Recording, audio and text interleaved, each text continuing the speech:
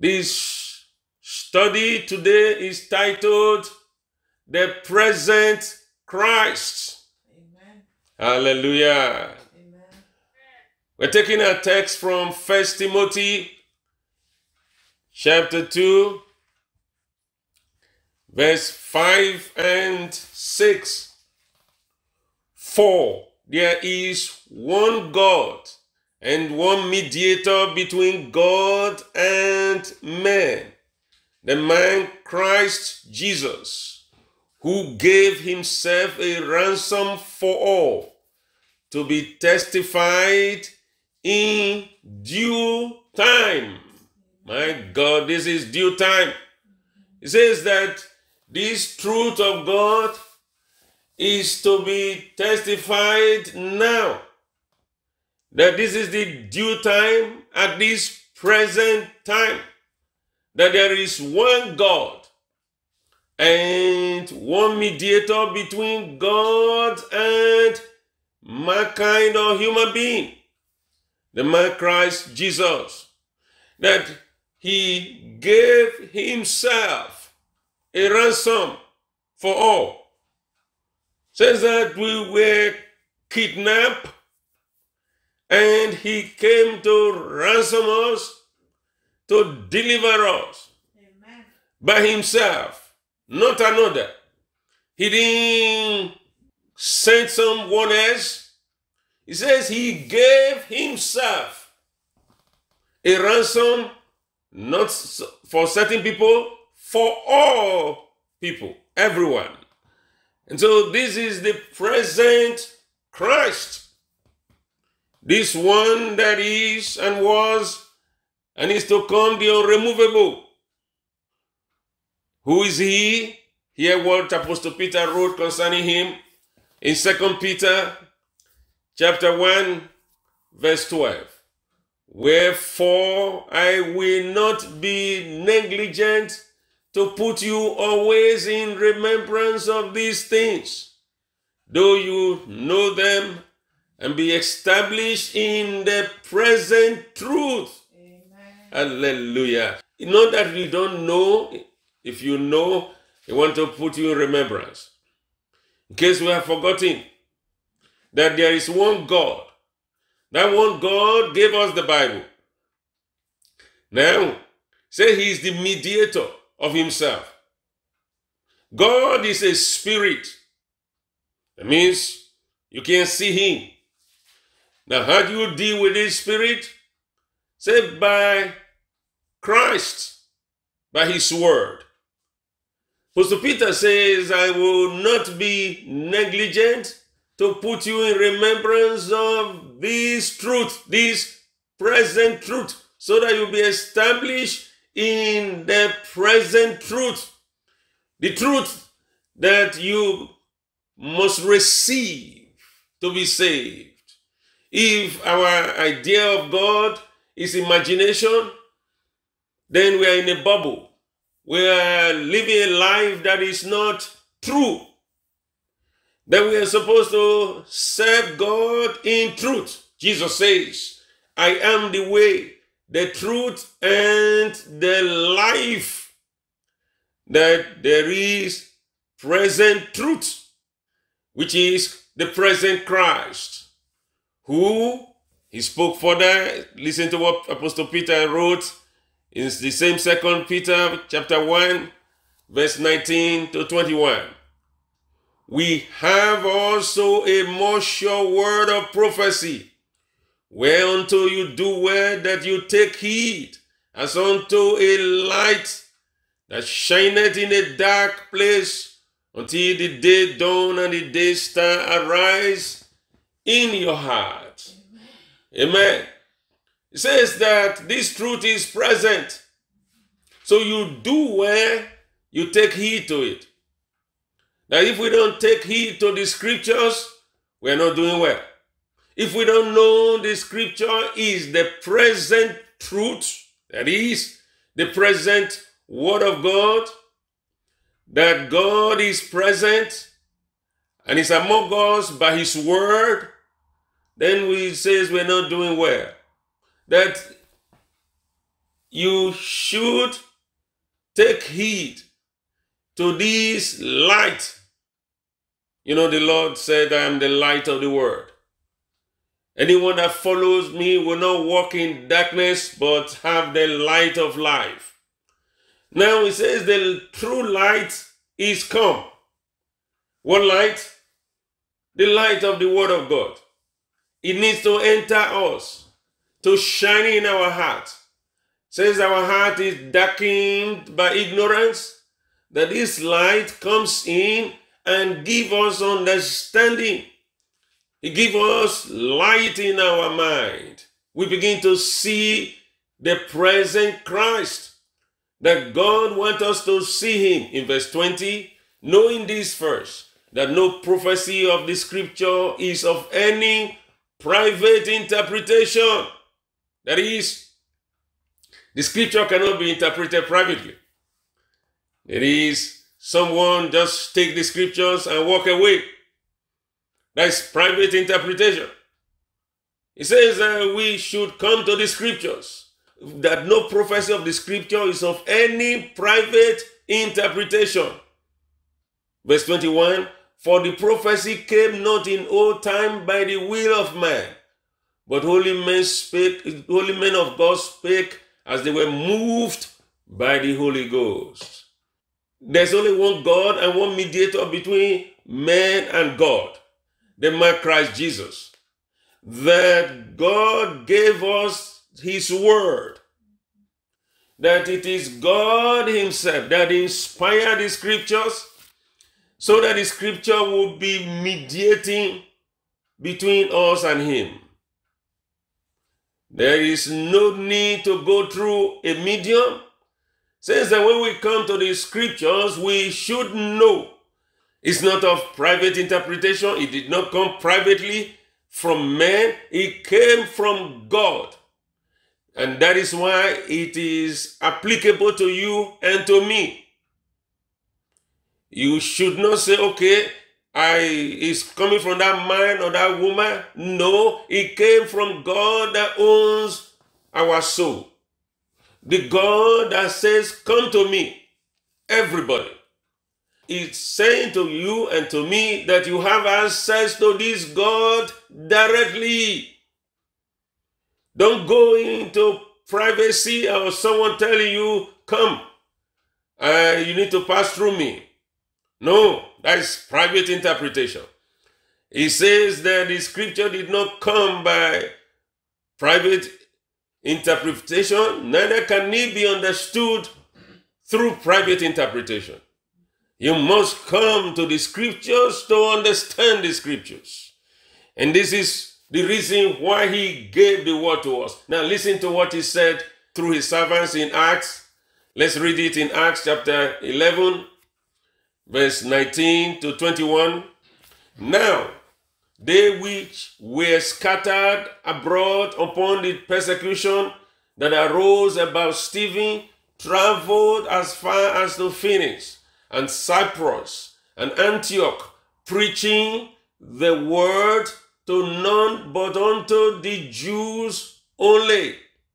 And some of them were men of Cyprus and Cyrene, which when they were come to Antioch, spake unto the Grecians, preaching the Lord Jesus. And the hand of the Lord was with them, and a great number believed and turned unto the Lord. Amen. Amen. It says that through the persecution of Stephen, and when they were persecuted in Jerusalem, the believers who believed the word of God scattered abroad. And so they traveled to different places and then they preached the word. They were speaking of him to people. And then they preached the word to them. And the scripture tells us that the word they were preaching to them is the Lord Jesus. That is what is written. And so it says that every scripture that we read in the Bible came directly from God. Now, when the spirit of the scripture came upon human being, even his disciples, they went about preaching the word, telling people concerning the Bible, as you are hearing today, that the word of God is the present Christ. Amen. Hallelujah. And that is the message. Cannot be changed. God commanded it to be preached in all generations. That this is the only mediator between God and human being. The unremovable Christ, the unchangeable Word of God. And that the present Christ is the Bible. That if we don't receive this, if we don't understand this, we are serving God in imagination. We are not dealing. Says that the hand of the Lord was with them, and a great number believed. Can you see? So, he said a great number of people believed the Lord and turned to the Lord. So God wants us to turn to his word. These were people who perhaps were worshiping some other things. They have some other things in their mind. But when the word was preached to them, they believed. That's what God is expecting from us to believe. To believe what? His word. To turn to the word of God. That God came to deliver us. God came to redeem us, to ransom us. Say he has given himself a ransom for all to be testified in this time. So today we preach the word as who? As the Lord Jesus. Amen. Amen. Amen. Say you do well, you take heed to it. You do well, that means when you take to the word of God, that the word of God is indeed the word of God given to us in the Bible, then you are doing well. You're doing what God commanded. You are doing what is right. You know, there was one time Paul came to a place in eh, Athens. Let's read that in Acts chapter 17. Acts 17, verse 22 and 23. Then Paul stood in the midst of Mars Hill and said, Ye men of Athens, I perceive that in all things Ye are too superstitious. For as I passed by and beheld your devotions, I found an altar with this inscription to the unknown God, whom therefore you ignorantly worship, him declare I unto you. Amen. Beautiful. Amen. He says he came to Athens and he saw that they were superstitious, too superstitious. That is, if we are worshiping God, and this God is in our imagination, we just imagine something and we conjure anything, that's superstition. And to the point, they had an inscription to the unknown God. He then said to them, this unknown God is whom I am preaching, so that you may know him. The only true God and Jesus Christ whom he sent. He sent his word. He gave us his word in this due time, in these last days. We didn't know him before. Though he created all things by the word of the Lord, when the heavens made, everything was created, were created by him. Now, Say the creature, we didn't know him. But in the due time, according to the plan of God, he now revealed to us the creator, the maker. And how did he do it? Through his word. And so that we will leave dumb idols, so that we will come to know him how can we know him? Through his word. As he said, if you continue in my word, you will know the truth. The true what? The true Christ. And the true Christ will set you free. For if the Son of God make you free, you'll be free indeed. He is the true Son of God. Who is that one? The Word, the Word of God. That Paul says, the one that you are calling the unknown God is the Word of God. The one the world is calling the unknown God is Christ. Jesus Christ can be known and he should be known. Says that anyone who now walk in darkness is condemned already. That is the condemnation. That the light is come. Men love darkness rather than the light because their deeds were evil. God wants us to come out of imagination. God came to deliver us from darkness and bring us into the light, into his true light. That the true light of God is the Word of God. Amen. You need to see Him indeed. That we should see God in the face of Jesus Christ. We should look unto Him, the author and the finisher of our faith. Paul says, the one that you are calling the unknown God is known. He has revealed himself unto us, the apostle says. That and we know that the Son of God is come, and he has given us an understanding that we may know him. You know, he said that we may know him. And then when you know him, we are in him.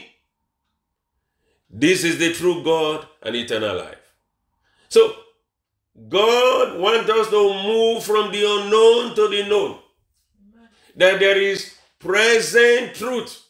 You know, the Baal worshippers who conjure in their imaginations and started worshipping imaginations. The servant of God, Elijah, the Lord said to him, Gather all of them to Mount Carmel. Let's prove the matter. And the God that answered by fire shall be God. And the God that is present will be the true God. An absent God is a lie. Present God is true. And then he said the bad priest or prophet shouted and called and called for hours, cutting themselves. Of course, you know, it's a lie. If he was present, he will show up. So because Baal is not true, cannot show up. Now, the man of God, Elijah, prayed and said, oh Lord, show to these people you are God. And then before he finished speaking, fire came and then consumed everything.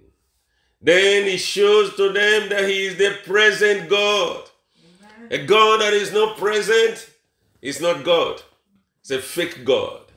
See, the word of God is present. He says a very present help in time of trouble.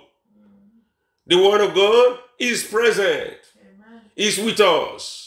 He said that you should take to this present Christ. He will deliver you from every evil. The first evil is to deliver us from superstitions, from imagination. And that God is answering us today by fire. My goodness, Lord, your heart will be on fire. The, the word of God brings the reality of God to the bear in our mind. So you do well, you take heed to this sure word of prophecy. As that light, as that truth, and it will arise in your heart.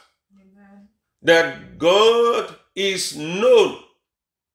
If God is not known, then we are finished. Why are we existing there? Who is keeping us? Who is supplying us? Now, if is not known and then we say it's going to come up someday in the future, don't you see we are deceived? How will your God come someday?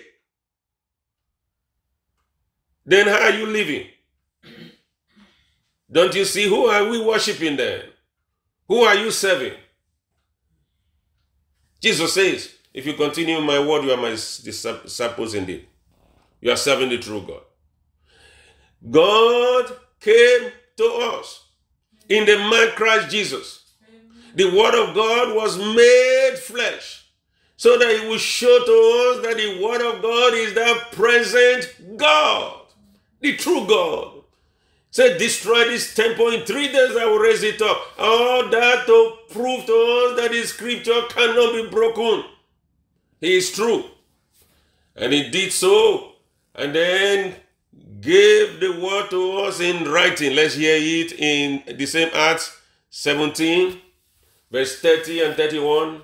And in the times of this ignorance, God winked at, that is, God overlooked, means is past. Ignorance is gone. We cannot ignorantly worship God today, but now commanded all men everywhere to repent. Repent is the message. Change your heart. That is why everyone who ever comes to the knowledge of the truth, whether in the past or today, think of Job. Job says, I was hearing about you, but now my eyes see it. you. You are present. Then what happened? I repent in dust and ashes. That is what brings about repentance. Once you come to discover that the word of God is the present truth, you will repent. Means you will change your heart. You change your mind. And say, Who has bewitched me? What have I been worshiping? Why do they say that you cannot see him? Saying in the days of ignorance, in the times past, God has wiped that one away. He took it away. And then show us the truth. How did he do that? Verse 31 Because he has appointed a day in the which he will judge the world in righteousness by that man whom he had ordained, whereof he had given assurance unto all men in that he had raised him from the dead. He raised him. Why did God raise Christ from the dead? So that we will serve the living God. He is not God of the dead, is of the living. Why did God raise Christ? He raised him up so that you will see that the word of God is living, is alive, it's not dead. Is alive. We must come out from the dead thinking and say, Where is he? Where can we find him? He's present. Say, God has appointed a day, He's going to judge the whole world on the basis of this man. Receiving him, you'll be saved. Rejecting him, the person is condemned. He is the man Christ Jesus, the only judge of the living and the dead. He is the Bible. We preach him. He said, when you believe the God that gave us the Bible said you have said to his seal that God is true because he is God. He says, I am God. I don't know any other one. If we refuse this God, he said there's not another God. That the God of the Bible is true and present. He was present with them in the wilderness 40 years, the scripture says, and they grieved him because of evil heart of unbelief, and they perish in the wilderness. Now he says that he has appointed a day. Only God knows that day. The day of judgment. And that the judgment will be on the basis of accepting this present Christ or rejecting him. There is not another judgment coming than what you are hearing. Says those who receive him will be justified as Abraham. Those who reject him will find out that he is the true God and the present God, the one that took care of all of them in the wilderness 40 years, is the word of God. He was present. Those who didn't believe, they perish. Those who believe, like Caleb, Caleb said, Look, he has kept me alive these 45 years. I'm alive. My goodness, Lord. Jesus says, Anyone that believe in me, though he were dead, he shall live. Amen.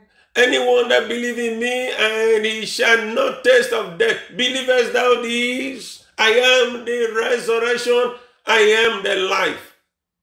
I'm the condemner, I'm the justifier. Who? The God of the Bible. What does it want uh, from us? Faith to believe. How? Through preaching. Says those who were scattered by reason of the persecution of Stephen, they went everywhere preaching the word. My goodness, Lord. For so he said, Go ye into all the world and preach the gospel. They went everywhere preaching the word. What a good news. They preach Christ. They preach the word. Who changed it? The devil? Who changed the message? You can't change it. The angel told John, this is everlasting gospel. The gospel of the word of God, he said this gospel must be preached to all nations before the end will come. So that no one will have excuse. Hear it. The present Christ is the Word of God. He came and became a human temporarily. That was not the present one.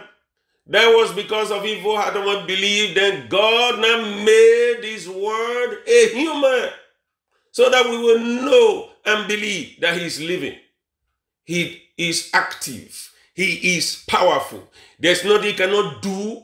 He can estray your mind, your soul, your spirit, your bone. He can do all things. Greater than anyone. Amen. And now, says God has set a day to judge the world in righteousness by this man. Righteousness is not practice. Righteousness is by faith.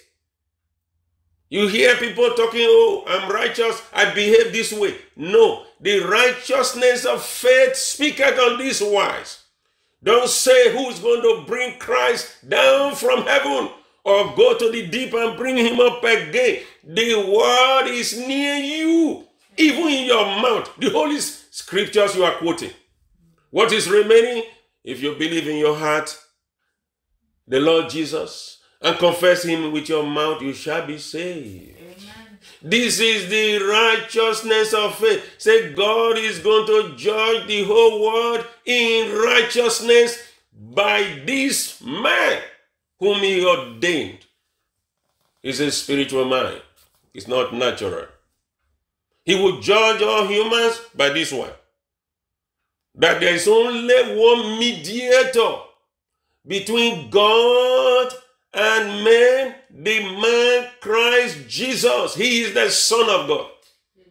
The Son of God is not flesh and blood. The Son of God is the Word of God. The Holy Spirit gave us His Word. He said, This is my body. Take, eat, all of you. They said, Is he going to give us his flesh to be eaten? Said, The flesh profited nothing. The words I speak unto you, they are living. Eat it. Eat the truth of the Bible. That the truth of the Bible is my son. If you eat him, then if you eat the son, the father will make his abode. We will come in. You eat his flesh, you drink his blood. Where the body is, the spirit will come. He is complete. And so he said he has given assurance God has committed all judgment to his son. That what you want to do to God, do it to the Son of God. If you want to honor God, honor Christ. You want to honor God, honor his word, honor the Bible. Promote him, speak of him as God speak of him. Say if we have the same spirit of faith, we believe, so we speak. So if you have the faith of God, the spirit of faith of God in you, you will speak of his word the same way he spoke of him. That this is my beloved son, in whom I'm well pleased. Hear you him. Amen. Hear the sound of the Bible. Hear the words of the Bible. Is the word of the Holy Spirit didn't, didn't come privately. The word of the Lord came to the prophet the word of the Lord came to the apostles. The same word is coming to you through preaching today. Amen. Come, he went to Cyprus, went everywhere by his disciples. He said they went everywhere preaching the word. That's how it's going around the whole world. Comes through preaching. If the Spirit enter you, you'll be preaching him also. Everybody. Then we fill the whole world with the knowledge of the God of the Bible as the water covered the sea. Amen. What a beauty. We're going to pray to Him and say, oh God, let the present truth enter me. Amen.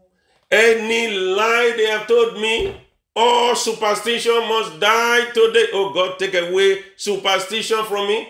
Take away every unknown God from me so that I know the only true God the God of the Bible, let it be formed in me. Pray in Jesus' mighty name. Almighty Savior, eternal Spirit, we pray unto you, O God, Almighty Savior, the one and only one, the living Spirit that so love us. You gave us the Bible so that we don't perish, but have eternal life.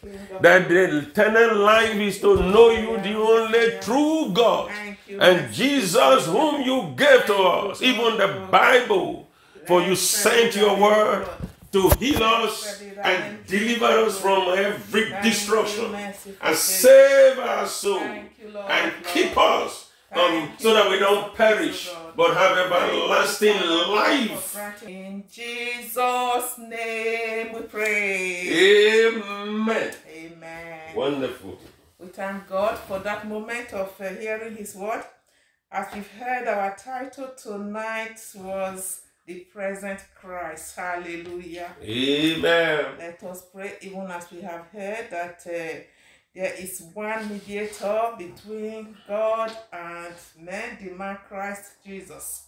That uh, that man Christ Jesus is uh, the present truth that God wants us to be established in. So he's one, he's the one God has given to us that uh, by him uh, we can be established as well. That we have to take heed to the word until so the word arises in our hearts. So let's pray, God, establish me in the present truth so that this word will take root in me. I'll be rooted and grounded in this word so that uh, your truth continually will be in me in Jesus' name. Almighty and ever living Father, we pray thee, O God. Of our soul, that you make me to continue in this light, in this wonderful light you give to us that shineth in the dark place. Until the day dawn and the day star rises in my heart, in every one of us. My goodness, Lord, let it be so that your truth will arise in our hearts.